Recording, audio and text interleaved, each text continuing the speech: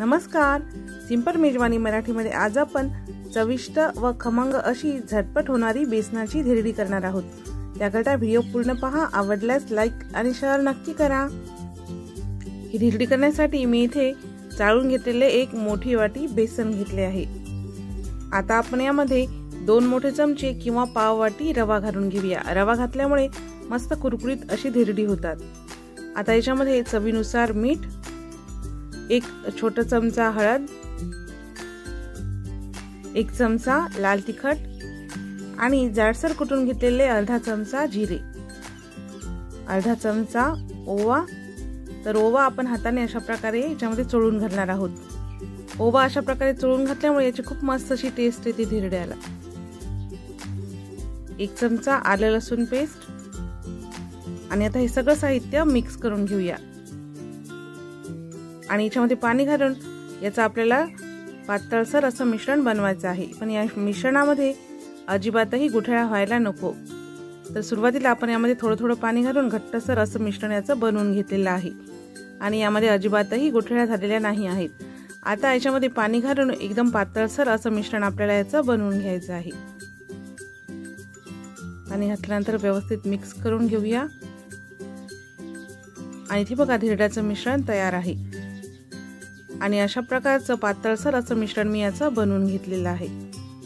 तर आता याच्यावरती झाकण ठेवून एक दहा मिनिटे आपण हे मिश्रण मुरू देणार आहोत जेणेकरून याच्यामध्ये रवा चांगला फुलेल.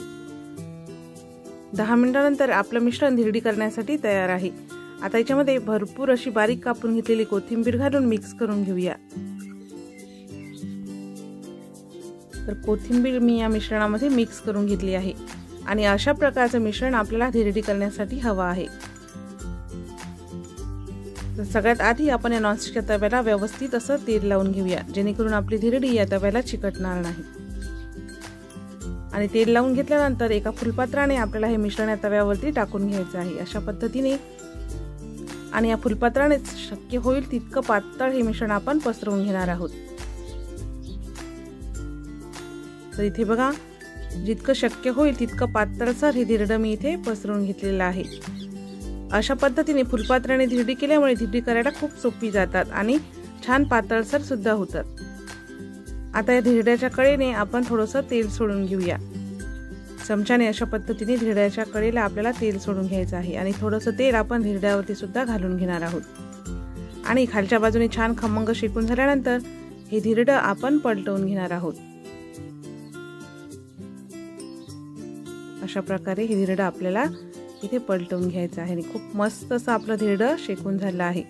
तर आता प्रेस करून खालच्या बाजूने सुद्धा हे धिरडं आपण छान असं शेकून घेणार आहोत. दोन एक मिनिटानंतर आपलं धिरडं छान शेकून झालं आहे की नाही ते आपण चेक करूया. तर तुम्ही इथे बघू शकता दोन्ही बाजूने खूप मस्त असं आपलं धिरडं शेकून झालं आहे. तर एका प्लेटमध्ये काढून घेऊया. तर इथे बघा तयार आहेत आपली झटपट चविष्ट आणि खमंग अशी बेसनाची धिरडी. तर तुम्हाला आजची ही रेसिपी कशी वाटली हे कमेंट्स करून मला नक्की सांगा. चला तर मग भेटूया पुन्हा एका नवीन रेसिपीसोबत तोपर्यंत धन्यवाद.